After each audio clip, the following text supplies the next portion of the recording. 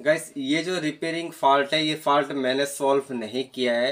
अरविंद जी है, जो मध्य प्रदेश के इंदौर ज़िले में रहते हैं तो 19 साल एज है ओनली उन्होंने ये प्रॉब्लम जो है सॉल्व किया है। इस प्रॉब्लम को पहले समझ लो आप। आपके पास भी ऐसा प्रॉब्लम क्रिएट हो सकता है। Vivo Y seventy one model है और इस मॉडल में जो प्रॉब्लम है कम्प्लीटली डेड है। तो डेड में जब बेसिकली स्टेप्स चेक किया चेक क्या क्या चीज़ किया चार्जर को इंसर्ट किया, बैटरी कंट्रोल वोल्टेज चेक किया, बैटरी कंट्रोल वोल्टेज नहीं आ रहा तो इनके बाद जो सेमेस्ट्री डायग्राम है, उसके अकॉर्डिंग जो है, इन्होंने ट्रेस किया कि चार्जिंग का जो बी चार्ज वाला जो सप्लाई है, वो कहाँ पे जा रहा है।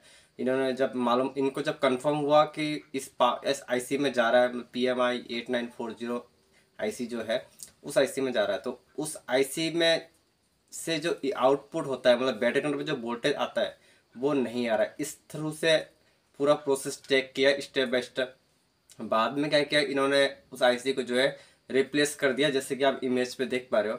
और आईसी रिप्लेस करने के बाद में जो है एक प्रॉब्लम क्रिएट हुआ। प्रॉब्लम क्रिएट क्या हुआ? मतलब मोबाइल तो ऑन हो गया। मोबाइल कंप्लीट जैसे पावर स्विच प्रेस करता है मोबाइल कम्प्लीटली ऑन हो जाता है। लेकिन ऑन जो है मतलब उसमें कुछ यूज़ नहीं करते। मतलब कहने का मतलब डाटा रिकवरी फ़ंक्शन पे चला गया मोबाइल डाटा रिकवरी आप जानते हो बेसिकली कब आता है? जब हम वॉल्यूम का डाउन बटन और पावर बटन को दबाते हैं तो data recovery function automatic on हो जाता है। तो उस कंडीशन में कॉलिंग वगैरह कुछ नहीं होता, गेम वगैरह कुछ नहीं होता, वो फॉर्मेट फ़ंक्शन होता है।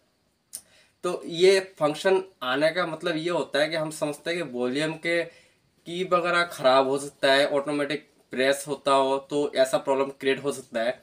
लेकिन ऐसा नहीं है, फ्लैक्स वगैरह कंप्लीट खोल दिया, खोलने के बाद में जो क्लीन भी कर दिया पावर आईसी तो पहले रिप्लेस कर दिया। पहले तो डेड था। पावर आईसी रिप्लेस करने के बाद में मतलब वो चार्जिंग आईसी जो है, उसको रिप्लेस करने के बाद में जब ये रिकवरी फ़ंक्शन पे आ चुका है और इसके बाद में वॉल्यूम के जो सप्लाई वगैरह उनको कम्प्लीटली टेस्ट किया। फिर मुझे व्हाट्सअप पे इन्होंने ये कमेंट किया था तो मैंने कहा था, इसमें दो प्रॉब्लम हो सकता है। या तो सॉफ्टवेयर का प्रॉब्लम हो सकता है तो हार्डवेयर का प्रॉब्लम हो सकता है।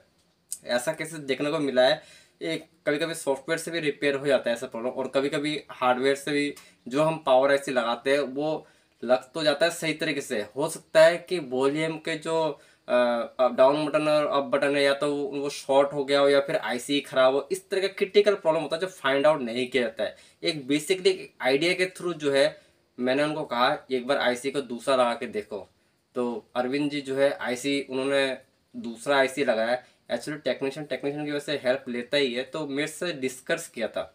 सॉफ्टवेयर प्रॉब्लम मैंने क्यों बोला? क्योंकि सेम टू सेम सेट मेरे पास भी आया हुआ था आज से तीन साल पहले तो उस सेट में F R P lock pattern lock हटाने के लिए आया हुआ था।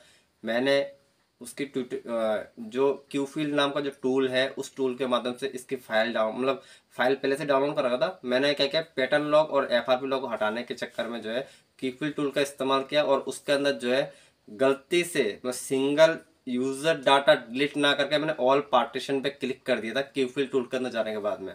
तो डिलीट जैसे ही मैंने किया तो सेट जो है वहीं पर ही डेड हो गया वो सेट ऑन नहीं हुआ। उसके बाद मैं सर्विस सेंटर में गया। सर मुझे तो मालूम है कि सेट डेड हुआ है वो भी सॉफ्टवेयर से डेड हुआ क्योंकि सेट तो मैंने खोला ही नहीं था। मैंने सर्विस सेंटर में गया सर्विस सेंटर में जो आ, उन्होंने डिवाइस को कनेक्ट किया तो सीधा सीधा वो मना कर दिया कि ये सेट रिपेयर नहीं होगा मदरबोर्ड ख़राब हो गया मदरबोर्ड रिप्लेस करना पड़ेगा। अब मैं दो पाँच सौ रुपये कमाने के चक्कर में नौ हज़ार रुपये का मदरबोर्ड थोड़ा लगाऊँगा। तो ऐसा दिमाग तो वैसे ही ख़राब हो गया। फिर मैंने, मेरे पास उस टाइम में यू बॉक्स था नहीं। मैंने मेरे फ्रेंड्स को बोला कि इसमें ये मतलब आई एस पी जंपर मार के एक बार देखो बूट रिपेयर होता है कि नहीं होता है। तो वो बंदे ने जो है चेक किया। चेक करने के बाद में जंपर मारे I S I S P pin out किया। पिन आउट करने के बाद में जो है पार्टीशन जो है रीड किया। मतलब कंप्लीट जो है सॉफ्टवेयर चढ़ाया। चढ़ाने के बाद में जो है मोबाइल ऑन हो गया, लेकिन ऑन तो हो गया सेम वही केस, इस केस के साथ मैच करता है। मतलब उस केस में डाटा रिकवरी फ़ंक्शन ऑन हो गया था, जो कि सर्विस सेंटर वाले ने मना कर दिया कि नहीं होगा, और जो कि मेरे फ्रेंड्स ने, जिसने आई एस पी सॉफ्टवेयर डाला, उसने ऑन तो कर दिया, लेकिन डाटा रिकवरी पे आ चुका था। अब ये सॉफ्टवेयर का बहुत डीपली चला जाता है कहानी, लेकिन फिर उसने कहा कि अब इसके आगे नहीं हो, मैं नहीं कर पाऊँगा, मेरे पास इसका डंप फ़ाइल नहीं है तो इसको एक बार सर्विस सेंटर में ले जाओ तो शायद वहाँ पे कंफर्मेशन हो जाएगा। मतलब शायद भी नहीं कंफर्म हो जाएगा। उसने इतना कॉन्फिडेंस कह दिया मेरे फ्रेंड ने। फिर मैंने क्या किया, उसी मोबाइल को लेके जो है सर्विस सेंटर वापस गया। तो सर्विस सेंटर पहले तो मना कर रहे थे कि नहीं होगा मदरबोर्ड चेंज होगा। फिर मैं जब दोबारा गया तो सर्विस सेंटर वालों ने कहा कि ये मोबाइल चालू कैसे करके लिया है? अब मैंने कहा, हम तो टेक्नीशियन है, अब आप लोग तो जंपर पर नहीं मारते तो हमने यू फाइव बॉक्स से जंपर मार मतलब सॉफ्टवेयर डाल दिया। तो सर्विस सेंटर वालों ने बोला, वेट कीजिए मैंने वेट किया, उसके बाद सर्विस सेंटर वालों ने उसको सॉफ्टवेयर डाला और मोबाइल जो है रिपेयर हो गया कंप्लीट मतलब बूट रिपेयर हो गया। तो मार्केट में जब मैंने सॉफ्टवेयर डाला था, तब सेम रिकवरी मोड आ रहा था। उस कंडीशन में सेट ऑन तो हो गया, लेकिन वीवो के मतलब फ़ंक्शन वगैरह कुछ काम नहीं कर रहा। हार्ड डिस्क वाला फ़ंक्शन आकर रुक जाता है। तो वही केस मुझे याद आ गया और याद आने के कारण जो है मैंने अरविंद जी को सॉल्यूशन बोला कि एक बार इसमें सॉफ्टवेयर डाल के भी आप देख सकते हो, क्योंकि ऐसा प्रॉब्लम सॉफ्टवेयर से भी आता है। सॉफ्टवेयर उन्होंने डाल के देखा तो मतलब मार्केट से डलवाया सॉफ्टवेयर ये भी तो मुझे आइडिया नहीं है।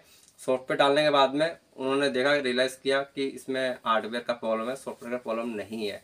फिर बाद में यही कहा मैंने कि इसके जो एक बार जो आईसी आपने चेंज किया चार्जिंग आईसी उसको एक बार निकाल के दोबारा सेट तो वैसे डेड है, उसमें अब मेहनत ही करना है और कुछ नहीं है।